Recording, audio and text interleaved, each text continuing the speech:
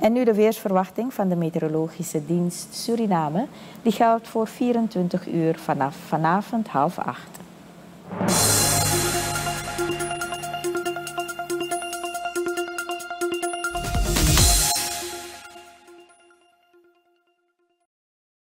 Tegen het einde van de nacht kan er plaatselijk nevel of mist ontstaan, voornamelijk in bosrijke gebieden.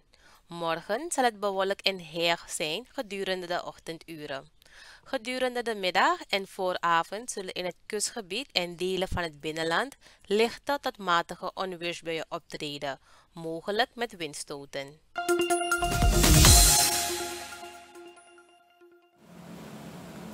De meteorologische dienst waarschuwt dat er morgen kans is op matige onweersbuien met windstoten in het kustgebied en delen van het binnenland.